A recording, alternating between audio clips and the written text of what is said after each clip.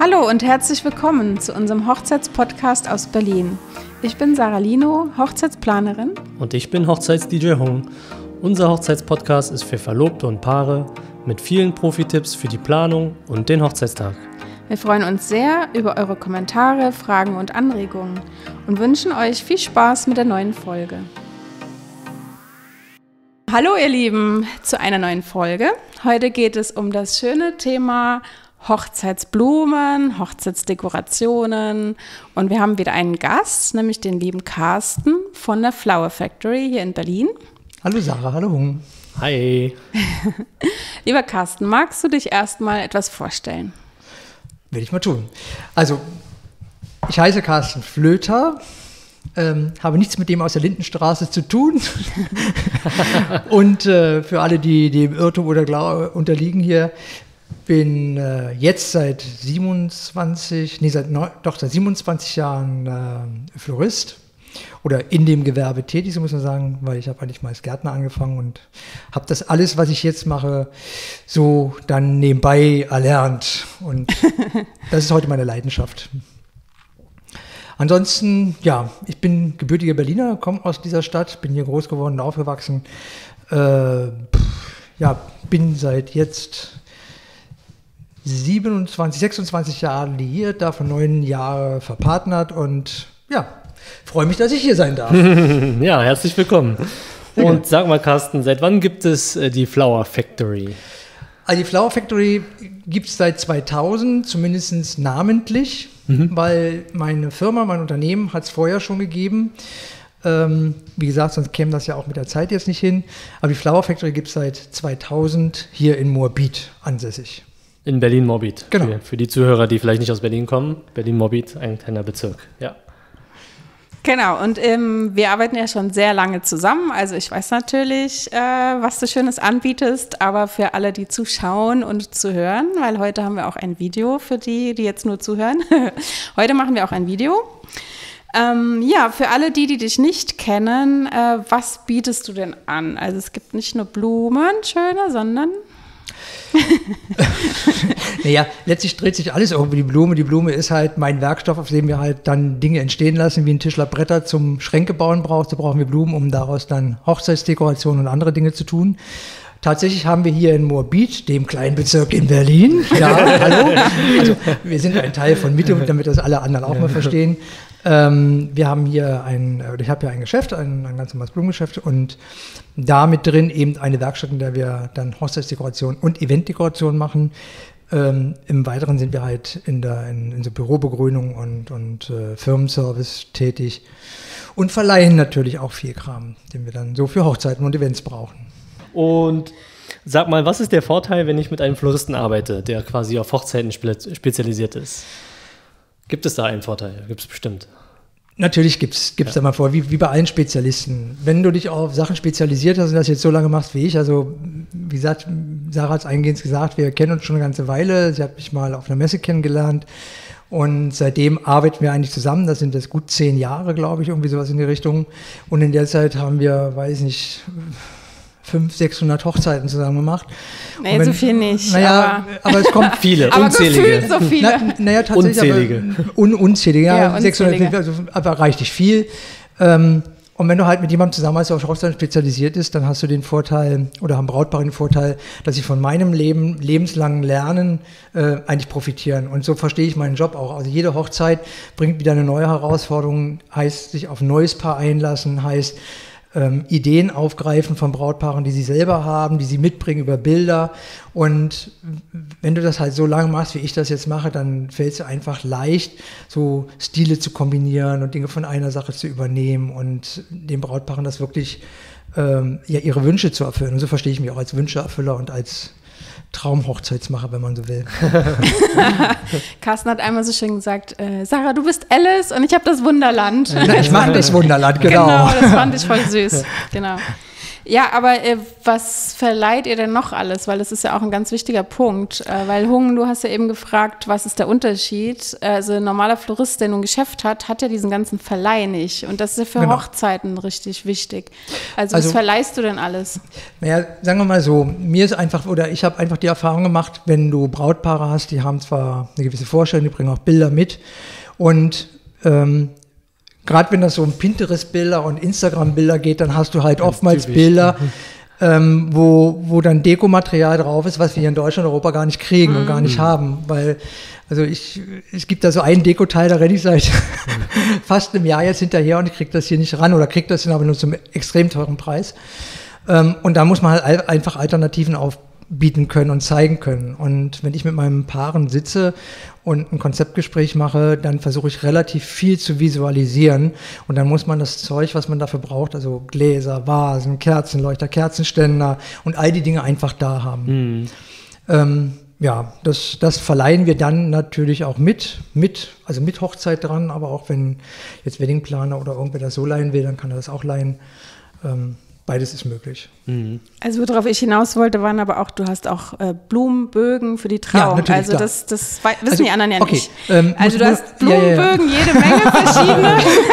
muss ich ja, ja selber so, sagen. Also, also, der Vorteil ist, dass du nicht nur die Floristik machst, sondern du hast tatsächlich auch einen Deko Deko-Verleih, wenn ich das genau, jetzt richtig also verstanden habe. Abgesehen von den Vasen und den Kerzenständer, Blumenbögen, Ständer für die also, Trauung. Also, also dann, dann muss man es nochmal etwas anders formulieren. In der Tat ist das so, ähm, dass Dinge, die wir nicht haben, ähm, ich sage, gibt nicht, gibt es eigentlich nicht. Das heißt, wenn ein Paar zu mir kommt und sagt, das stellen wir uns vor, dann, und ich glaube, das macht mich am Ende auch irgendwo aus. Ich, ich, ich denke halt über die Blume weiter. Ich habe relativ viel technischen Verstand und äh, handwerklichen Verstand und überlege dann, wie kann man einen gerüsten Ständer oder einen Blumenbogen bauen oder bauen lassen, herstellen lassen. Ich habe ein riesiges Netzwerk an, an, an Leuten im Background und mein wichtigster dabei ist mein, mein Schlosser, ja. der mir halt einfach Dinge schweißt, so wie ich es brauche und mache, wo man, wo man sonst einfach Schwierigkeiten hat. Ja. Es gibt eigentlich nichts, was ich nicht versuche zu realisieren. Also vom, vom, vom kleinen Tischbau bis zum Saalumbau. Wenn's, aber das bringt dann auch die Event, äh, meine mein Eventschiene einfach mit sich,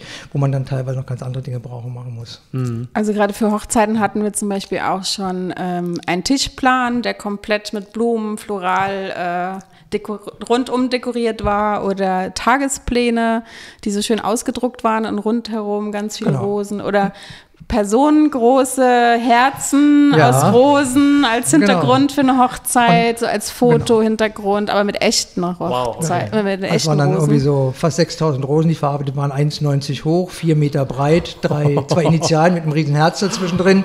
Pompös. Und da muss man aber auch einfach wissen, wie man das, das technisch umsetzt, dass einem dann nicht der halbe, die halbe Bude unter Wasser steht, weil sich halt über ganz viel Steckmasse Wassersäule aufbaut und wir hatten an dem Tag tatsächlich 30 Grad. Ja. Da kann man das nicht trocken stecken. Das wäre also schneller, schneller Rauchware wahrscheinlich gewesen. Ja. Also ich weiß nicht, wie, wie Rosenblätter sich rauchen lassen, aber vielleicht funktioniert das, ja, wer weiß.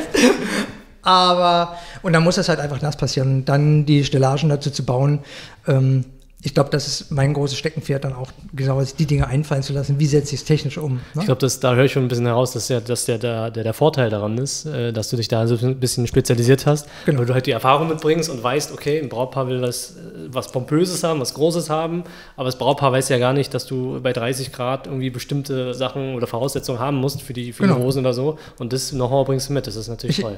Ich habe halt immer, immer nicht nur meine Blume da irgendwie im Blick, sondern ich sehe immer das Gesamte. Ja, also ja. wenn ich jetzt mit, mit einem Weddingplaner zusammenarbeite, auch meine eigene Hochzeit, ganz egal, ob ich die nur betreue. Ähm, wir hatten das vor drei Wochen, eine Gartenhochzeit, die war toll geplant vom Brautpaar selber. Ja. Und wir hatten dann einfach Regen und Sturmböen und es blies mir draußen alles zusammen. Und dann kann ich nicht einfach losgehen und sagen, pff, nicht mein Problem, ich habe meinen Job gemacht, stand ja alles mal, ja, ja. sondern dann habe ich ja angefangen, alles mit Plan abzudecken und irgendwie zu sichern und herzurichten. Am Ende habe ich noch eine Kaffeemaschine repariert und die Kaffeetassen ausgewischt, damit, wenn die vom Kaffee kamen, und alles sauber hatten. Aber das ist dann mein persönliches Verständnis von Brautpaare glücklich machen. Mhm. Darum geht es doch, ne? Über den, genau. über den Rand hinaus noch ein bisschen schauen. Genau, bei ähm, vielen Hochzeiten ist das Problem, wenn die Paare sich so das allererste Mal informieren und äh, Floristen vergleichen, dann ist es echt immer super, super schwer. Äh, klar haben sie einen ersten Eindruck, wenn sie in die Beratung gehen mit den Floristen. Da ist natürlich eine Persönlichkeit dahinter. Ähm, Aber wenn man dann einfach nur diese Blumenangebote mal vergleicht, dann finde ich es echt immer super schwer. Also ich sage meinen Paaren immer, vergleicht nicht nur die Zahlen, weil ihr wisst nicht, was ihr für das Geld bekommt. Deine Meinung dazu, Carsten? Meine Meinung dazu. Also mal grundsätzlich sage ich meinen Paaren immer, wenn sie zu mir zum, zur, zum Konzeptgespräch kommen, ihr kauft bei mir eigentlich nicht Blumen. Ihr kauft bei mir nicht eure Blumen für eure Hochzeit, sondern ihr kauft bei mir eure Erinnerungen, weil wir schaffen den Rahmen für eure Hochzeit, für eure Fotos, für eure Bilder. Wir schaffen den Rahmen für den Wow-Effekt, den eure Gäste haben, wenn sie kommen. Wir schaffen den Wow-Effekt für euch, wenn, wenn ihr in den Saal kommt, wenn, ihr, wenn, wenn, wenn du als Braut eben dann das erste Mal siehst, was da passiert. Weil die Männer sehen das ja in der Regel schon immer etwas eher, weil die halt Gäste begrüßen und rumlaufen. Aber so eine Braut sitzt dann halt schon Stunden vorher in der Maske, wie ich immer sage, und äh, äh, wird hergerichtet und sieht das ja dann zum ersten Mal. Und das ist genau den Moment, den wir schaffen, nämlich diesen, und natürlich die Sicherheit, dass alles so funktioniert und so wird, wie sich das vorstellt. Ich bin da eh ein sehr visueller Mensch, also neben meinen Konzepten äh, oder Konzeptgesprächen, wenn ich die mache, wo wir ja schon viel versuchen aufzubauen, gibt es bei mir hinten immer eine PC-Visualisierung. Das heißt, ich baue den tatsächlich am PC oder am Computer nachher nochmal ihre Dekoration zusammen, dass sie nochmal eine, also fast 95-prozentige Vorstellung kriegen von dem, was sie haben. Und das kriegen die dann auch so. Mhm. Ähm, und genau deswegen kann man das nicht vergleichen. Das ist ähm, Vergleich zwei Autos. Du musst letztlich gucken, was bietet dir, oder zwei Handwerker. Da könnt ihr zwei Maler sagen, wir streichen eine Wand.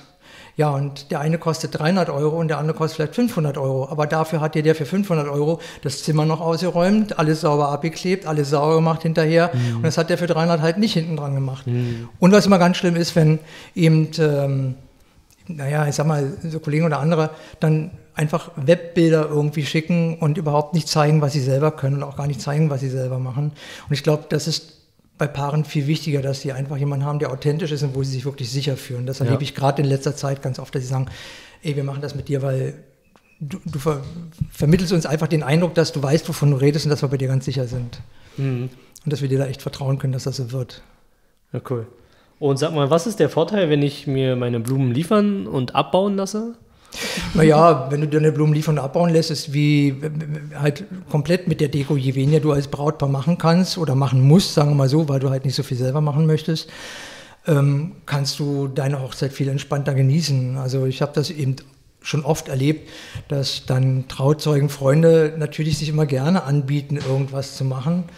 Ähm, dann aber oftmals so machen, wie es naja, weil sie das Brautpaar überraschen wollen und dann nichts sagen. Dann das Brautpaar im Nachhinein sagt, naja, war alles ganz schön, aber hm, hätten wir anders hätten gewollt. wir anders haben, eigentlich haben ja. wollen. Mhm. Ähm, oder eben das Brautpaar selber mitwirkt mit den Freunden und dann hast du am nächsten Tag echt Leute, die dann noch in den letzten Metern dann irgendwie noch was anhängen, machen, tun und überhaupt und dann eigentlich von der Feier nicht mehr viel haben, weil sie müde sind und kaputt einfach vom Arbeiten. Und ich finde, wenn ich auf eine Hochzeit komme, dann will ich als Gast das auch genießen können. Dann will ich einfach hinkommen können und sagen, ey,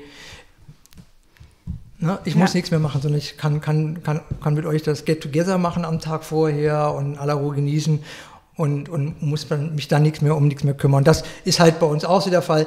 Wenn bei mir das Konzeptgespräch durch ist und das Brautpaar sich entscheidet, mit mir zu gehen, dann müssen die sich um nichts mehr kümmern. Mhm. Genau. Wir Find kommen, wir verschwinden und alles ist fertig. Blume darf man mitnehmen, alles andere wird genau. wieder, äh, wieder weggeräumt und ordentlich verpackt.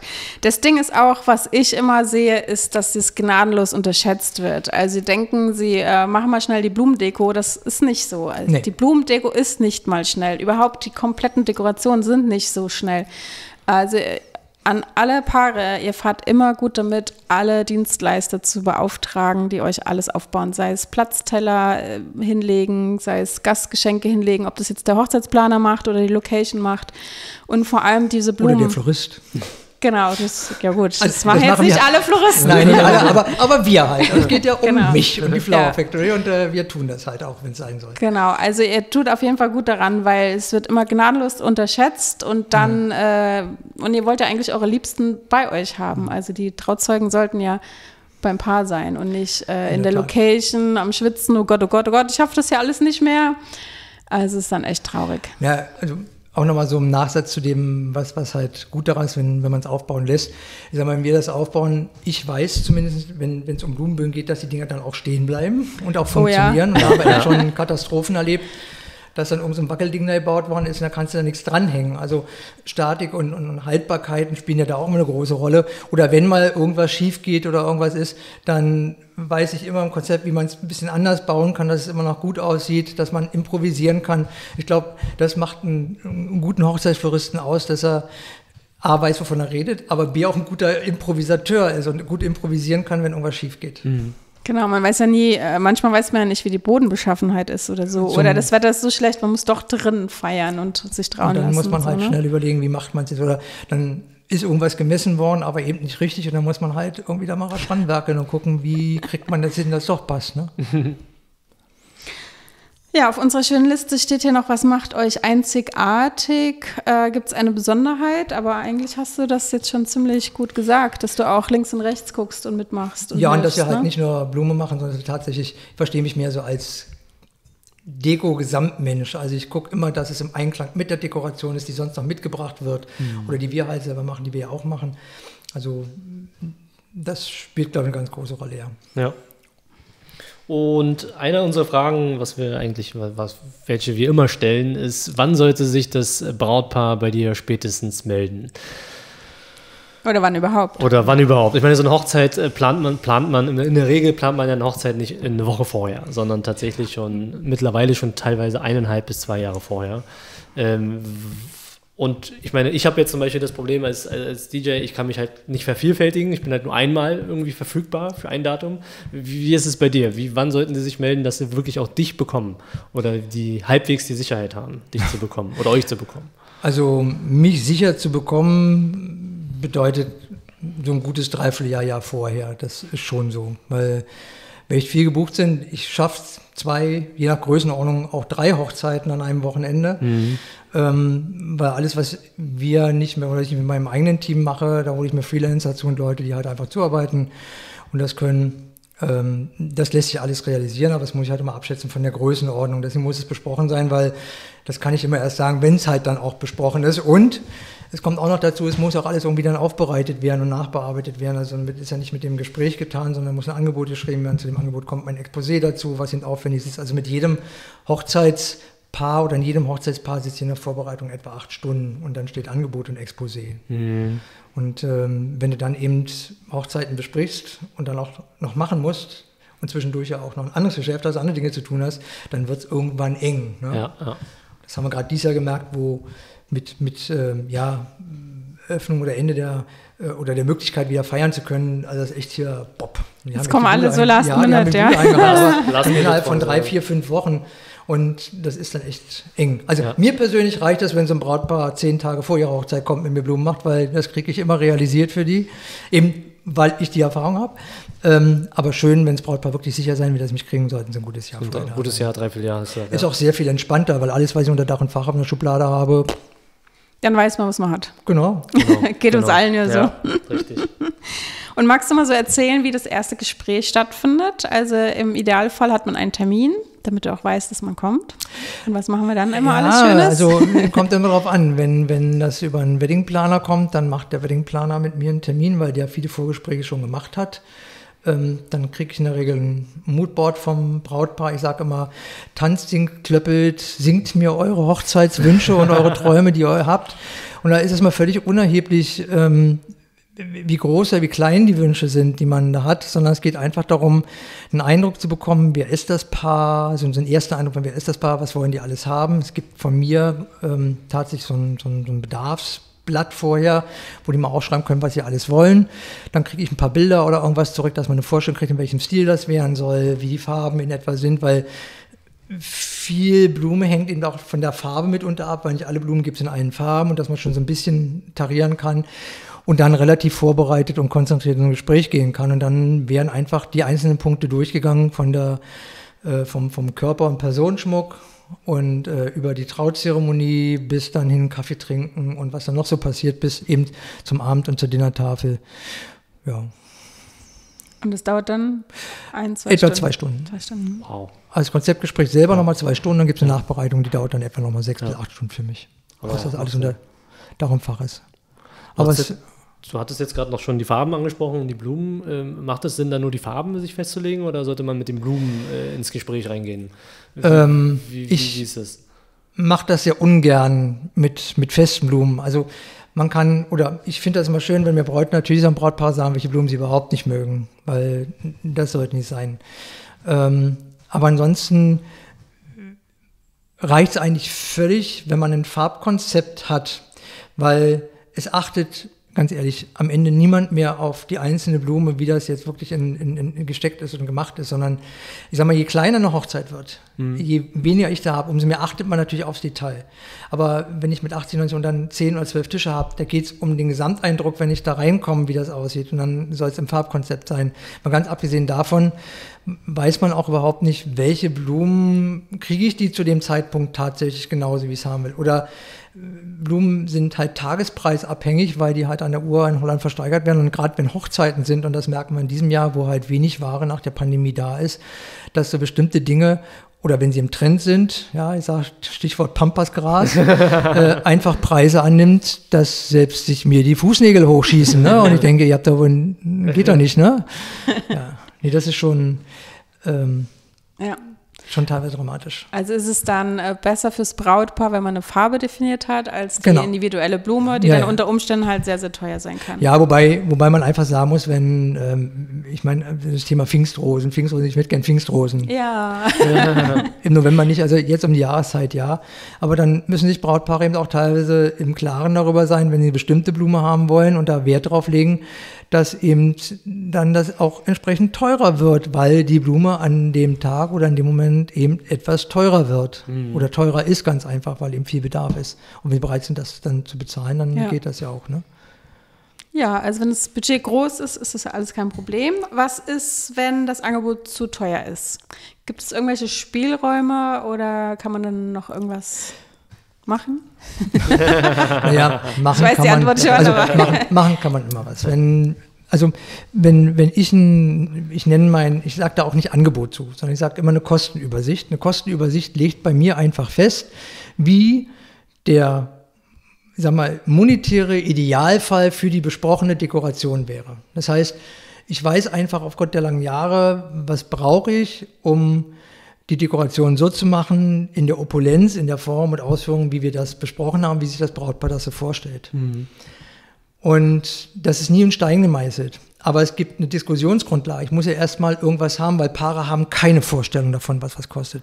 Und äh, die schleppen dir dann wirklich Bilder in die Hütte aus Amerika, wo eben andere Budgets da sind, oder aus Australien, England, wo andere Budgets da sind. Und wenn du denen dann sagst, ist ja alles schön und ähm, dann, dann geben die dir halt einen Budgetvorschlag oder eine Vorstellung, die sie haben. Dann sagst du, okay, kriegt da zwei Tische für. dann ist das halt einfach mal doof. Und deswegen ähm, versuche ich immer so, so, den Idealfall zu formulieren und darüber muss man dann im Einzelnen reden. Entweder mhm. macht man was kleiner, man speckt was ab, man lässt was weg, also so Dinge, die nicht nötig sind, unbedingt nötig sind, sagen wir mal so. Oder guckt, wie kriegt man den Idealfall hin. Bis zu einem gewissen Punkt. Weil ich sage mal, ein Brautpaar, was zu, zu mir kommt, gerade auch mit Bildern, schon oder viel Bildern, vielen eigenen Vorstellungen, die haben ein Bild impliziert in sich. Ja, und wenn ich das, genau. und wenn ich das und wenn ich das nicht mehr erfüllen kann, weil ich ja. einfach weiß, das kann ich nicht realisieren, weil das ist, geht preislich nicht. Ja, weil, weil mich vielleicht die Blumen im Einkauf fast so viel kosten würden, wie, wie, wie es dann nachher am Ende mhm. äh, am Budget da ist, dann lasse ich das auch, weil ich sage, ich möchte an dem Glück und dem Erfolg und, und möchte, dass ein Brautpaar an der Dekoration freut. Ja. Und ich möchte nicht an der Enttäuschung teilhaben. Also das nee. sind wir nee, nee, das nicht. Dann, keiner. Ja. ähm, wir waren, wir sind bei der Frage, lieber Carsten, wie viel Budget sollte man als Paar für die Blumen einplanen? Das hat er ja schon gesagt, äh, im Idealfall äh, heiraten unsere Brautpaare zum ersten Mal. Das heißt, die haben vielleicht gar keine Vorstellung oder eigentlich haben sie keine Vorstellung, was sowas kostet äh, im, im, Normalfall. Magst du uns mal so eine Preisvorgabe geben, ungefähr, was so zum Beispiel ein Brautstrauß kostet, eine Pro-Tisch-Deko, ein Blumenbogen oder eine Kirchendeko? Na, ich versuche das mal. So also es ist letzt, letztlich hängt es natürlich immer davon ab, was für eine Blume möchtest du haben und ähm, was kostet die halt gerade. Und ich habe eingangs ja schon gesagt, wenn du halt eine spezielle Blume oder eben zu einer Zeit Pfingstrosen haben willst, wo es halt nur Pfingstrosen gibt, das ist so eine Blume oder ein Pampasgras, aber zu Hochzeiten, wo gerade alle äh, mit Wir liegen träumt im Gras, paar Hochzeiten und Boho feiern, dann ist das Zeug einfach teuer. Ne? Und dann muss man einfach mehr ausgeben. Aber deswegen, deswegen sagt ihr auch von, dass es ähm, mir lieber ist, ich kriege nur eine Farbvorgabe, weil dann kann man gerade bei kleinen Budgets einfach auch eine Auswahl treffen und sagen, Kinder, verabschiedet euch davon, macht es anders, sieht auch toll aus, aber dann können wir das Budget einhalten. Ja, Brautstrauß. Brautstrauß muss man so um, also bei uns geht das über 80 Euro los, aber im Idealfall sind das 100, 120 mal 140 Euro, je nachdem, aber eher selten, also sind wir um 100 Euro. Ähm, ein Tisch, sag ich mal, ja, wenn das, wenn das, über Baumscheibe und drei Gläser mit ein paar Blumen drin hinausgeht, dann ähm, sollte man, denke ich, schon damit ein bisschen was auf dem Tisch steht. Ein bisschen, gerade auf dem runden Tisch sieht es ja voll aus, wenn du drei Blumen und drei Kerzen hast. Dann so ab 60, 65, 70 Euro. Und wenn es ein bisschen opulenter sein soll mit einer Hochvase oder einem Leuchter oder so drauf, dann bewegt sich das schon mal eher so gegen 120, 150 Euro für einen guten Tisch. Also es ist so ungefähr für zehn Personen jetzt mal so genau. für die Vorstellung. Ja, ne? Also wenn man es dann hochrechnet, hat man 15 Euro Deko pro Person am Tisch. Ja. Ne? Gemessen an 65 Euro fürs Menü oder so ist das eigentlich relativ wenig, aber so sollte man schon einplanen. Mhm. Ähm, Blumenbogen? Blumenbogen, ja, kommt auch wieder darauf an, was wird es, ein Vollblumenbogen, wird es Metallblumenbogen, wird es ein Holzbogen mit einem Akzent links, rechts und so. Also das geht bei uns mit, mit Bogenleihgebühr. Sarah hat ja schon gesagt, wir haben so vier Bögen und was wir nicht haben, bauen wir halt. ich habe gerade einen ganz neuen gebaut. Ähm, und der geht so bei 350 Euro los. 350. Also dann hast du so einen Eckakzentschmuck und nochmal einen Gegenakzentschmuck und den Bogen und aber der kann auch schon mal 1000 oder 3000 Euro kosten. Ja, das also, auch schon, wenn es ein Vollbogen mal ist. Ne? Weiß, ja. Also wenn es die schon. Bilder gibt, wo überall Blume am Bogen ist, dann eher dann in die Tausender. Genau. Ja gut, oben gibt es ja nie eine Nach Deckelung. oben gibt es nie gibt's ja die Deckelung. Wir aber das ist halt so normale, so ab, wir, mhm. ab wir reden, Durchschnittspreise. Genau. Wir reden ja hier erstmal heute, denke ich, von in Anführungszeichen einer normalen Durchschnittshochzeit ja, mit einem etwas gehobeneren Budget vielleicht und nicht äh, von Luxushochzeiten. Aber da, dass man es mal weiß. Genau, ja. natürlich klar. Auch das machen wir. Wir haben auch schon Traubögen gehabt, die haben eben 6.500 Euro gekostet. Ja, ja. Aber da waren dann eben auch 8.000 Blumen drin oder so. Ne? Ja, und Äh, mindestens 10 Stunden Arbeit. und äh, Kirchendeko. Kirchendeko. Ja, Kirchendeko ist so das Thema, ähm, wo ich mir sage, das kann man auch wieder schwer sagen. Ähm, wie opulent will man es haben? Willst du was am Altar haben? Willst du noch an die Kirchenbänke was haben? So für eine Kirchenbank, wenn es nur eine Blüte mit einem, mit einem bisschen Band oder so dran ist, dann liegst du da so bei 12 Euro für so eine Bank. Aber in der Regel sind das so kleine Bouquets mit Dings, dann liegst du so bei 18 bis 25 Euro. Und äh, noch ein Brautpaar-Stuhlschmuck für so um 30 Euro pro Person. Und wenn du noch was links und rechts neben den Altar stellst oder auf den Altar, auf Altar bist du mal 50, 60 Euro. Und äh, Vasen für links und rechts geht es über 120, 150 Euro, damit das dann auch schön aussieht. Aber mhm. das sind dann gerade die Dinge für die freie Trauung, für die Kirche, sind alles Dinge, die kann man weiterverwenden. Also die kann man damit in Location nehmen und da als Entree stellen oder an den Geschenketisch stellen. Oder wenn man Schalen auf Säulen stellt an der Kirche, dann kannst du die noch mit aufs Buffet stellen oder irgendwo mit weiter dekorieren. Mit den Kirchenbanksträußen kann man, die kann man für die Kaffeetafel weiterverwenden. Und das ist mir persönlich auch immer ganz wichtig, ähm, einfach weil wir versuchen, ein bisschen nachhaltig zu denken, dass man die Sachen möglichst viel verwenden kann und nicht nur für 20 Minuten hat und dann wandern die mehr oder weniger irgendwo hin oder das war es dann, sondern dass sie echt viel verwendet werden können und weiterverwendet werden können. Also und nachhaltig und sparsam für, fürs Bauen. Ja, natürlich. Ja. Und auch da ist es wichtig, wenn man eine Unterstützung hat, eine externe, dass entweder der Florist länger bleibt und die Sachen nochmal einsammelt, nochmal woanders hinstellt oder der Hochzeitsplaner oder irgendeiner, genau. der extern mhm. ist. Ne? Man sonst muss es halt Trauzeuge oder irgendwer machen, der vorher bestimmt wird. Also das ja, sollte man sowieso, das, wenn man. Und das macht es halt nicht, weil, genau. wie gesagt, ihr wollt ja eure Trauzeugen bei euch haben, ja. ihr wollt Fotos genau. mit denen machen und mutet denen bitte nicht zu, dass die den ganzen Stress dann haben. Ja. Ja, wir haben jetzt schon viel über das Budget geredet, dass es da manchmal ähm, nicht so viel Ahnung gibt oder falsche Vorstellungen. Man weiß es ja auch nicht, wenn man sich noch nicht damit beschäftigt Woher? hat. Man sieht immer so die tollen Bilder. Gibt es noch irgendwas anderes, äh, wo die Paare manchmal eine falsche Vorstellung haben? Na, ich glaube, einer der größten äh, sich nicht vorstellen können Dinger ist einfach, dass Brautpaare nicht vorstellen, wie viel Arbeit dahinter steckt. Also mhm. man darf nicht vergessen, gerade in der Deko und, und gerade was Blumen angeht, da geht nichts mit Maschine. Jede Blume wird mühevoll eingekauft, liebevoll ausgesucht, muss verputzt werden, wird verarbeitet, geht wirklich durch Floristen, ist alles reine Handarbeit. Und ähm, Sarah hat schon eingehend ja auch gesagt, die, die Deko dann aufbauen, das ist eben auch alles nicht mal ebenso gemacht, sondern die Luft schmeißen, fertig, hurra. Ja? auch wenn wir Cinderella-Hochzeiten machen, wer das möchte, aber wir können leider nicht wie Cinderella alles hochschmeißen, alles fertig. Wir können eben den Kürbis nicht mit Schnips in eine Kutsche verwandeln, geht nicht. Ähm, das braucht halt einfach Zeit und Manpower.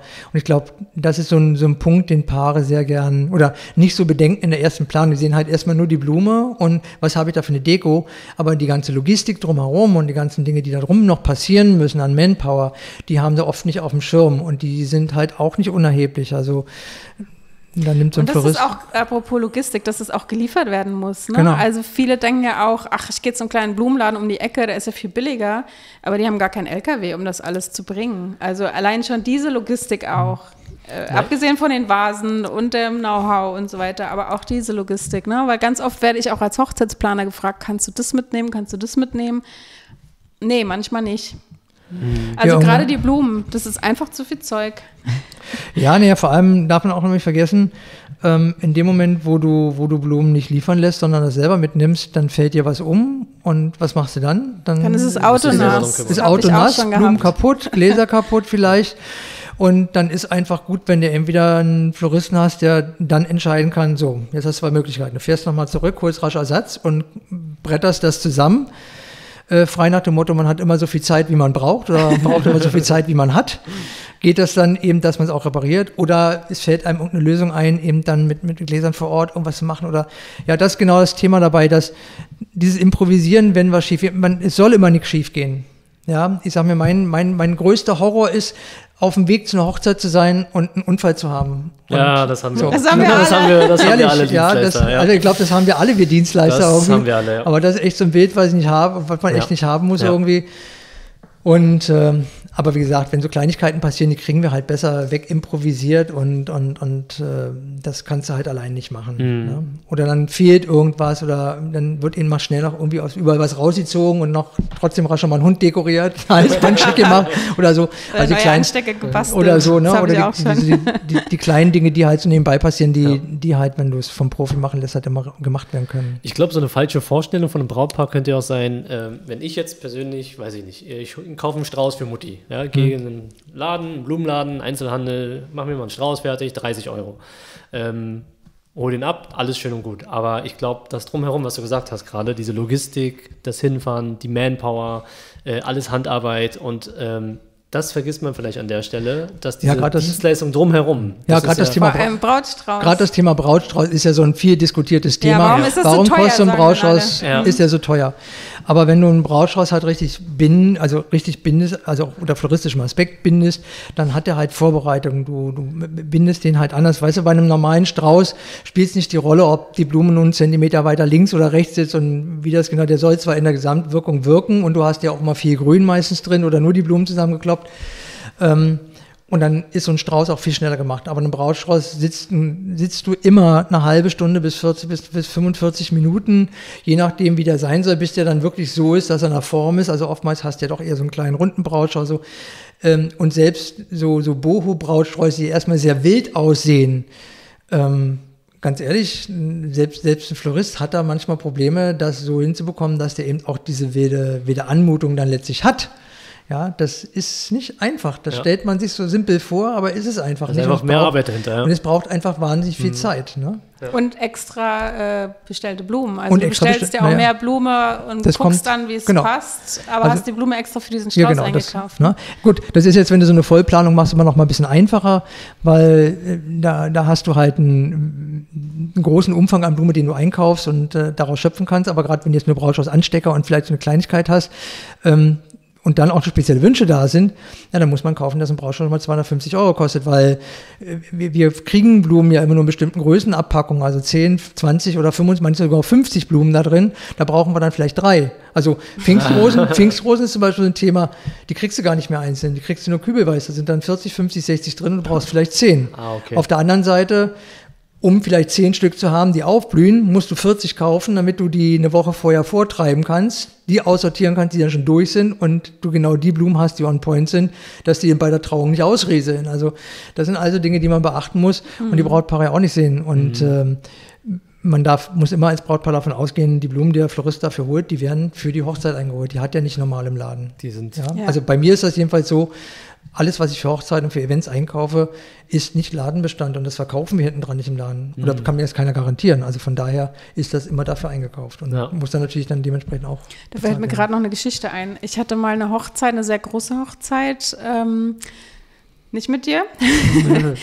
da gab es einen anderen Florist und da waren abends die Blumen auf den Tischen trocken. Also da war kein Wasser an den Blumen, es oh. waren so Silberleuchter und obendran Blume und die waren nicht wasserversorgt und sie waren abends trocken und äh, sie ließen alle abends die Köpfe fallen. Also mhm.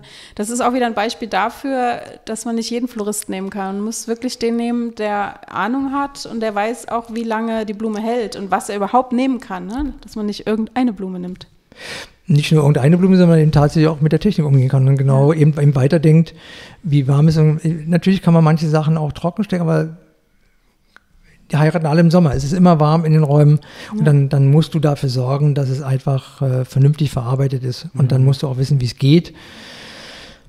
Aber das macht es dann letztlich auch aus. Na, natürlich will jeder eine Hochzeit machen. Oh, toll, toll 1000, 2000 Euro vielleicht verdient. Aber da hängt auch unendlich viel Verantwortung hinter, hinter dem Geld, weil für ein Brautpaar ist das wirklich viel Geld. Ich meine, das ist ja nur ein Teil vom Budget. Und ähm, wenn dann gerade der Teil, der den Rahmen bildet, der die Erinnerung bildet, der das machen soll, wo ich eingehend sagte, den Wow-Effekt, dann nicht passt, dann ist das einfach mal durch. Ich sage so, in Hochzeit entscheidet sich für den, der dekoriert und für Floristen in etwa zweieinhalb Sekunden in einer Sekunde, wo die Braut den Brautschluss kriegt. Oh. Oder oh, ja.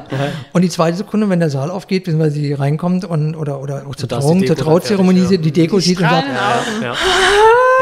Das ist viel schöner als ich dachte. Also ich finde ja toll, wenn Bräute heulen, aber vor Freude und nicht vor Enttäuschung, wie schlimm das aussieht. Ja. Und wenn dann so eine Sachen passieren, wie Dara sagt, dann ist natürlich so ein Abend gelaufen und dann das, hast du... Da traurig, ich, ja. ja. Da muss ich auch eine kleine Geschichte erzählen. Das war eine Hochzeit äh, von uns, Sarah, tatsächlich, im letzten Jahr August. Ähm, da war ich schon, als, also als DJ bin ich ja schon früher da, ich baue alles auf ne, und sehe dann, die, die Deko-Leute fangen dann schon an zu dekorieren und dann sieht man auch teilweise, wenn dann einige Gäste schon mal einfach sich so reinhuschen und gucken und du siehst sofort diesen Wow-Effekt oder die zücken ihr Handy raus und können es kaum glauben, wie schön das alles ausschaut anschaut. Und diesen Moment, dieses Momentum als solches, das schön, ist wirklich, das ist wirklich schön. Also ja. an die Brautpaare ist äh, kleiner Tipp, das, das, nehmen die das nehmen die Gäste auch mit. Also, ja, das nehmen die wahr. Mhm. Also ich, ich sage immer, ich, also ich wollte mal Bühnenbildner werden eigentlich. und ja. das hat nicht funktioniert. Dann bin ich Gärtner geworden, dann Florist. Heute mache ich Hochzeiten und bin eigentlich wieder Bühnenbildner, weil ich mit jeder Hochzeit ein Bühnenbild für eine andere Szene, für ein anderes Paar schaffe und denen den Rahmen für ihren ganz besonderen Moment. Mhm. Und das ist jedes Mal eine neue Herausforderung, ob klein oder großes Budget, ob eine kleine oder große Hochzeit. Da ist mir jedes Paar gleich recht. Und ganz ehrlich, für mich ist eigentlich nicht der Lohn das Geld, davon lebe ich. Für mich ist tatsächlich das Leuchten in den Augen, das, die Freude und die Dankbarkeit und die Anerkennung für das, was wir da machen und der Respekt. Ja, wie ich da erzähle, kriege ich eine Gänsehaut dabei, weil das ist so wie, wie jemand, der halt schaut, für den ist auch das Geld und die Gage natürlich eins. Aber der Applaus vom Publikum, wenn der nicht da ist, und das haben eben ganz viele auch in der Pandemie merken müssen, dann fehlt einfach was. Und ich glaube, das war das auch, was mir gefehlt hat. Der Motor, warum ich das eigentlich mache. Und das ist eben das Leuchten in den Augen. Das ist mhm. das Lachen. Das ist mein Motor und mein Antrieb und mein, das, was mich ausmacht. Ja. Ähm, eine Trendfrage, die mich auch oder die vielleicht unsere Brautpaare auch interessiert, was da so aus deiner Sicht äh, die, die heutigen Trends sind oder gibt es vielleicht Trends, die auch so weggehen? Ich sage jetzt mal Stichwort Boho oder Pampasgras. Sind das so Dinge, die jetzt noch in, ich sage jetzt mal 22, 23 und weiter noch im Gespräch sind oder nimmt das langsam ab und es gibt ein paar neue naja, sagen, Themengebiete? Sagen wir mal so, also in, in, in der Floristik und der Dekoration ähm, auch wenn man auf Instagram unterwegs ist, du kannst dich nicht neu erfinden. Und äh, die einen stecken Figürchen aus Blumen, die anderen machen opulente große Hängestecke und, und, und. Und da ist es halt immer nur eine Frage von Form und Farbe und, und, und Vielfalt, die du anwendest und wie du es zusammenbaust. So einen richtigen Trend, ja. Also einmal natürlich die Trockensachen, so Pampasgras, also das Bo ist und, und alle die trockenen Sachen, ist ja wirklich so Retro aus den 70ern, die jetzt hier in völlig moderner neuer Form irgendwie aufgewachsen sind die werden auch immer, also so, so Trends, die mal da wären, die werden nie ganz verschwinden. Also wir hatten vor allem unsere, unsere Holzbretter, unsere Holzscheiben mit Dings, die waren mal ein Jahr ganz in, so für Landhochzeiten und Scheunenhochzeiten und da passt das ja auch in gewisser Weise ein bisschen hin, wenn man schick macht. Das ist nicht die Frage. Also wir reden jetzt von einer Baumscheibe, die genau. als Scheibe geschnitten wird und die dann in der Mitte und steht und da steht eine steht. Vase mit einem Blümchen drauf und drei Teelichter drum. Oder so ein paar Vasen. So, oder ein paar Vasen vielleicht. Und äh, das ist halt ja, so ein paar Sachen sind einfach irgendwie drüber. Ja, und trotzdem also, kommen sie immer konkret wieder. konkret zu sagen, das ist out, Leute. Ja, genau. Macht's nicht. ja. Das ist auch die, genau. die, die, die Holzscheiben. Die Holzscheiben. Genau. Die Holzscheiben auf den Tischen. Hm. Genauso, und da mögen mir viele auch, oder werden mir jetzt viele widersprechen, aber auch Haarkränze sind eigentlich durch. Die waren mal eine Zeit lang, also auch Boho-Hochzeit ist so ein Trend, der natürlich noch da ist, aber der auch langsam wieder abflaut. Also im Moment merke ich gerade in diesem Jahr, jede Hochzeit, die ich irgendwie habe, also er kriegt immer die gleichen Bilder. ja, aber es macht es auch einfacher am Plan, weil alles weiß, Eukalyptus, Olive, Ruskus, Gold.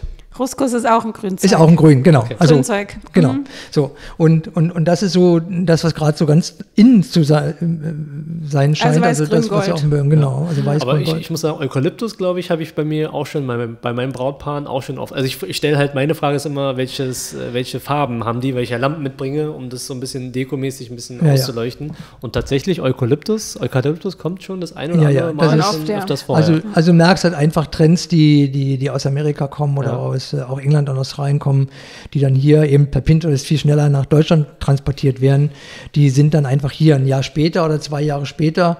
Und deswegen tut es immer gut, heute nach Amerika zu gucken, so ein bisschen, ähm, in die Hochbogen der Hochzeit, wenn man so will. Mhm. Und was da gerade Trend ist, das weiß man, wird ein Jahr später oder zwei später auch hier, so meistens ein Jahr später auch hier irgendwie Trend werden. Aber da gibt es jetzt nicht wirklich irgendwas Neues, was sich verändert. Also da also hast du, aber hast du den Eindruck, dass Boho so langsam weggeht und äh, Do-it-yourself auch weggegangen ist, ziemlich, ähm, und dass es eher zu elegant wird? Also sagen wir mal so, es gibt ähm, tatsächlich in diesem Jahr mehr Brautpaare, die, wenn ich sage, wollt ihr auch irgendwie so Pampasgras oder trocken dazwischen, um Gottes Willen, bloß mit diesen Staubfängern weg. ja, die einfach das gar nicht so toll finden, die dann tatsächlich eher so auf diese edlere Schiene weiß und grün, also Greenery und weiß gehen, mit verschiedenen Grüntönen. Ähm, Boho ist halt eine Geschmackssache. Entweder man isst das und mag das oder man mag es nicht. Da gibt es keine Graustufe irgendwie zwischen. Ne? Manchmal wird es so ein bisschen vermischt. Aber ich habe zum Beispiel in vier Wochen eine Hochzeit, die ist auch nur trocken, aber überhaupt nicht boho. Ah, okay. Sondern irgendwie, weiß ich, Minimal, ganz, Also ganz ich finde, es wird eleganter und minimalistischer, das ja, finde ich. Genau. Also das, einfachere Farben mhm. und äh, weg von dem Boho-Haarkranz und wir legen Teppich mhm. auf die Wiese und unsere alten Möbel hin und unser Vintage-Geschirr, ein kleines bisschen weg davon, eher zu Trockenblumen kann schon sein, aber schon eher, eine gewisse Eleganz. aber eher eleganter. Schon, schon und, eher so eine äh, reduzierte. Das Goldgeschirr ja, vielleicht oder der goldene Platzteller. Ja, genau. Das, das also Gold ist gerade ganz in. Ne? Ja, also ja. So, so, reduzierte Eleganz, aber auch äh, tatsächlich so wie so ein Sommer. Wie so ein Sommerblume ist das ist dann wieder das, das Natürliche. Mhm. Ja, das holt so die Paare ab, die eher so ein bisschen nachhaltiger denken, die halt eher so in Natur sind. Saisonale Blumen. Ja, mhm. saisonal und das darf dann auch sommerlich sein, die also nicht so diesen, diesen, diesen Prinzessin-Schick wollen, sondern eher, ja, die heiraten dann in der Regel auch in, in, in, in einer sehr rustikalen äh, Location, also eher so ein Industrielook oder ja, natürlich. Äh, ja, irgendein irgendein so, so ein Clubgarten oder so, ne? Und sehr natürlich, und wo das dann auch hinpasst und eben nicht im Schloss. Genau, muss ja für alle was geben. Genau. genau. Welcher Teil des Jobs macht dir denn besonders Spaß? Das Planen. Also tatsächlich, mir macht am meisten Spaß der Teil, wo ich ähm, die Ideen der gedacht. Brautpaare ja. und meine eigenen Ideen oder, oder meine Erfahrungen dann mit einfließen lassen kann und denen tatsächlich ihr Konzept zusammenbaue und, und denen das visualisiere und, und selber schon, also wenn ein Brautpaar zu mir kommt, dann höre ich so zwischen den Zeilen. Ich kann das ganz gut, glaube ich, äh, hören, was die wollen und die auch gut einschätzen. Und das dann zu planen und zu Papier zu bringen, zu visualisieren für die, das ist mein, ja, das, da gehe ich dann drin auf. Deswegen kann ich das auch, weil wer sitzt an so, an so einem Exposé oder so einer Visualisierung eben in fünf, sechs Stunden. Aber dafür habe ich am Ende auch was, wo ich sagen kann, das ist in meinem Kopf und Leute, die mit mir zusammenarbeiten oder die, wenn mir mal was wäre, die können das genau nachvollziehen, weil ich genau meine, meine Bilder habe und das Brautpaar kennt auch das Bild. Also die Erwartungen ähm, oder das, was man dann erwarten darf, kriegt man dann bei uns auch genauso. Mhm. Und da gibt es bei mir keinen Stil. Deswegen sage ich, jeder kann zu uns mit allem kommen im Prinzip, mir seine Wünsche sagen, seinen Traum vorsingen, tanzen, spielen, kleben, machen, tun. Ne? Und dann bin ich der, der das umsetzt. Und ich glaube, dass, ich meine, Sarah, wir haben so viele verschiedene Sachen schon Schienen, gehabt. Ja.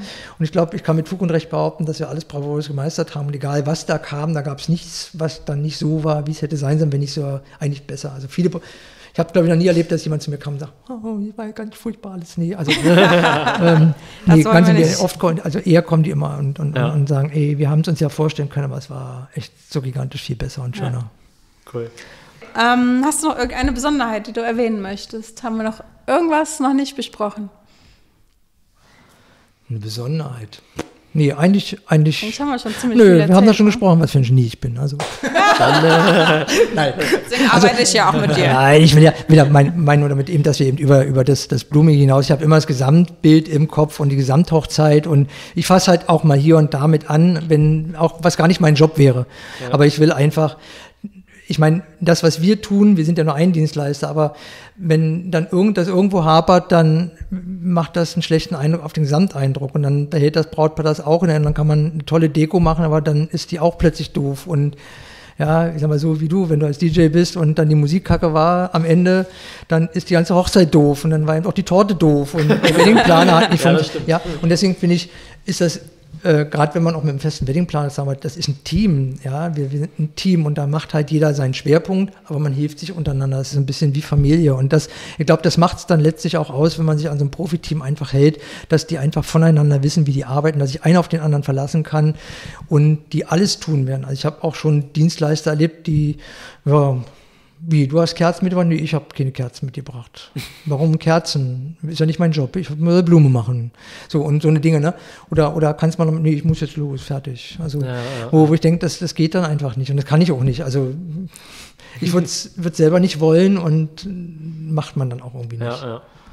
Also dann äh, ist es quasi gut, wenn das äh, Dienstleisterteam, was man als Brautpaar bucht, äh, wenn die sich kennen und schätzen und äh, als Team zusammenarbeiten. Ja, und auch über, über den Tellerrand schauen, so ja. wie du es gesagt hast. Ja, also natürlich. nicht nur seine Arbeit, seine Dienstleistung, was vereinbart wurde, sondern vielleicht auch mal so das genau. i-Tüpfchen noch irgendwie draufsetzen. So von der Sache. Ja, aber es ist, ist ja auch viel entspannter für, für alle und auch äh, ja. letztlich für ein Brautpaar, wenn die wissen, dass für alle Bereiche, die gebucht haben, einfach Experten und Spezialisten da sind. Also das ist zum Beispiel der Grund, warum ich keine Möbel vermiete und so eine Sache. Ich habe das auch lange überlegt, ob wir uns da ausweiten, Dekokram. Nee, den miete ich einfach dazu und ich kann das alles. Ich kann, kann Tische dazu organisieren, kann Technik, kann eine ganze Veranstaltung, ganze Hochzeit planen, wenn es sein muss. Aber ich nehme mir dann die Experten dazu, weil in jedem Bereich ein Experte sitzt. Ne? Das ist wie ein Anwalt, der alles macht der kann nicht wirklich nach meinem Dafürhalten. Das ist ja mein ne? Credo. Wer alles kann, kann nichts. Ja, genau. Wer alles kann, kann genau. nichts. Genau. Ja. So. Aber ähm, jetzt nochmal auf den Punkt, äh, finde ich, fürs Brautpaar, wenn ihr eure Dienstleister kennenlernt und ein gutes Bauchgefühl habt und denkt, Mensch, das ist auch einer, der mal über den Tellerrand äh, guckt und auch mal mit anpackt, das, das sind die Guten. Ja. ich will es mal so rum sagen. Wenn ihr ein gutes Bauchgefühl habt und sagt, okay, der ist vielleicht ein bisschen teurer, aber da haben wir ein gutes und sicheres Gefühl, dann nehmt den und gebt den Euro mehr aus. Ja. Ihr werdet immer, also ganz oft enttäuscht sein, wenn ihr nur nach dem Preis geht. Eine Hochzeit darf man nicht nur nach dem Preis. Nee, immer nach dem Bauchgefühl, das sagen Nach dem Bauchgefühl mhm. und nach, ja, nach Sicherheit so ein bisschen, wo man. Ja, Sicherheit. Das ist ganz, gut. ganz wichtig. Mhm. Cool. Jetzt. Ja, jetzt habe ich meine, meine, meine letzte Frage. Deine Lieblingsfrage. Meine Lieblingsfrage, Carsten. ähm, gibt es eine lustige oder eine schräge Geschichte oder irgendein besonderes Ereignis, was dir widerfahren ist auf einer Hochzeit?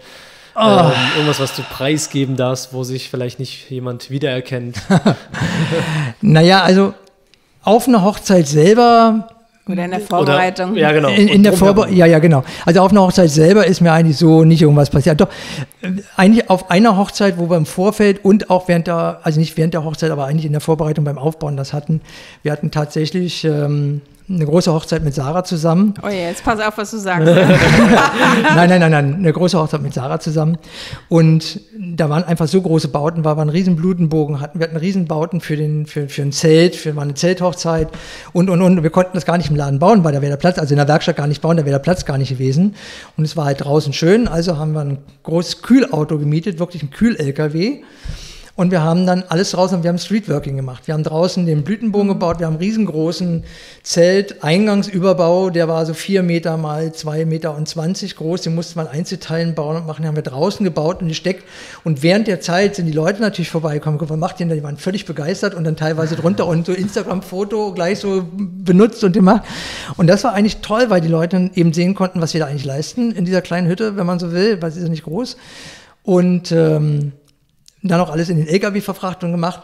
Und dann am nächsten Tag tatsächlich auch wieder der Punkt, wir hatten halt den ganzen Weg flankiert mit großen Lorbeerbäumen, die halt auch so ein bisschen windanfällig waren. Wir haben das zwar in schwere Kübel gepackt, aber es gab dann tatsächlich Regen, Unwetter und Sturm. Stimmt. Und das hat uns echt die Kübel, ein Teppich, den wir festgeklebt hatten, da ist der Wind runter und hat uns da alles zusammengepustet und die Blasen. Stimmt. Und dann, und dann kriegst du echt Panik den Moment. Aber und da hast du dann wieder eben dann auch die Profis, die Experten, die dann einfach sagen, shit happens, können wir jetzt nicht ändern. Also statt Teppich, Teppich wieder zusammennehmen und zusammenrollen, weil lieber kein Teppich als ein dreckiger und zerknittert und zerregneter Teppich als dann kein.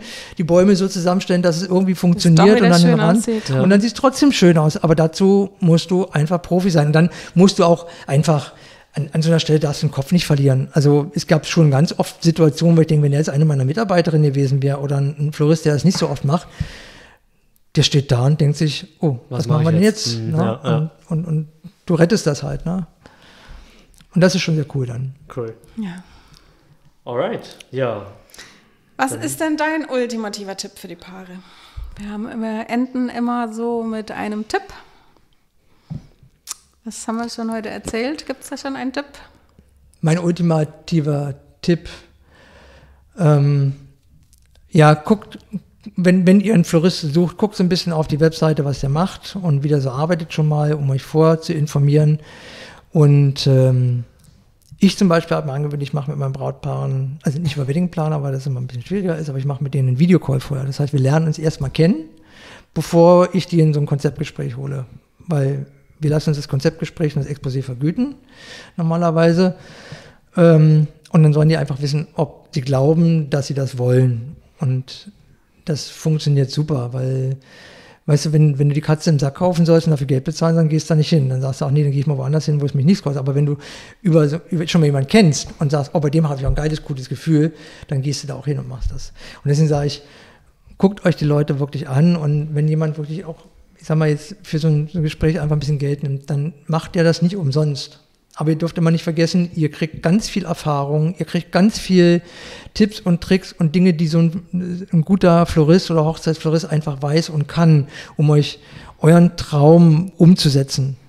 Und den, ja, wenn, wenn ihr, ich sag mal, zu einem Wald- und Wiesenfloristen geht, der das ja auch sicherlich vielleicht kann, aber ähm, wenn es dann schief geht, dann geht es auch schief und dann wisst ihr auch, warum. Ja, vor allem hast du nur den, die eine Chance. Genau, ja, du hast das noch. Ja genau, am nächsten Tag nicht genau, nochmal. Deswegen guckt euch das an und, und, und, entscheidet mehr nach Bauch und nach gutem Gefühl und nach ja. Sicherheit als immer nur nach Preis. Also das kann man nicht vergleichen. Mhm. Das ja. ist nun mal ein emotion, also es ist vom Anfang bis Ende ein emotionaler Moment. Mhm. Cool. Genau. Cool, ja, cool. guter Tipp. Fällt mir. Ja. Ja, da sind wir schon durch. Ja, Carsten, vielen Dank, dass du da warst. Ja, schönen Dank, dass ich da sein durfte. Danke vielen Dank für deine Tipps und Tricks und für deine Antworten. Ja, ich hoffe, ich konnte ein paar Brautpaaren weiterhelfen. Ja, doch, doch, doch, definitiv. Und ihr, liebe Brautpaare und liebe Zuhörer, seid doch so lieb und äh, bewertet uns auf den Kanälen, auf denen ihr gerade zuhört. Und wir hören uns zur nächsten Folge. Bis dahin. Tschüss. Tschüss. Tschüss. Tschüss. Tschüss.